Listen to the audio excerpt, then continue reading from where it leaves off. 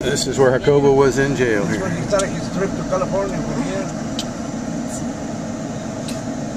Dice que los bajaban en a comer en McDonald's.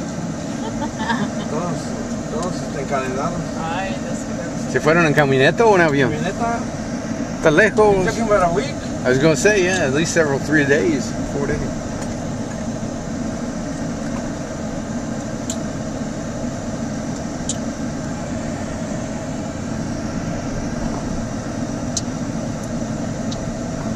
So what did they pick him up for? And then they picked him up for something that he had a warrant? No, no, no. See, he was in Branson. And then, uh,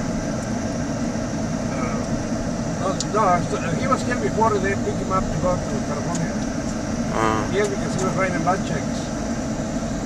he's writing bag checks with a warrant on him? Oh my God. With a hundred dollars and then he started writing checks like he was a rich man.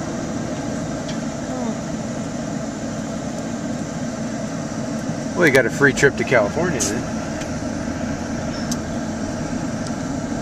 But if, if you ever hear him talk, he'll say that there's no need for him to, to even be arrested. He hadn't done nothing. He was innocent.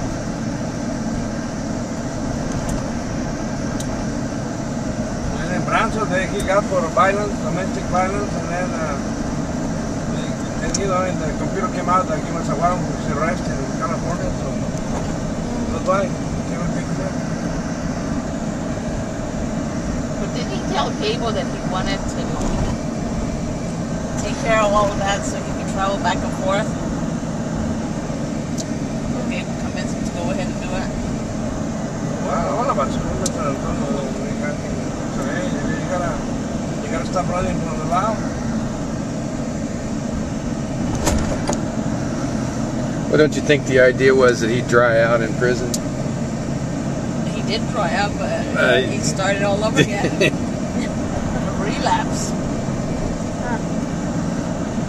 There wasn't enough to rehab there. I wanted to do an intervention for him, but then I think, no, I don't even think that's going to work either.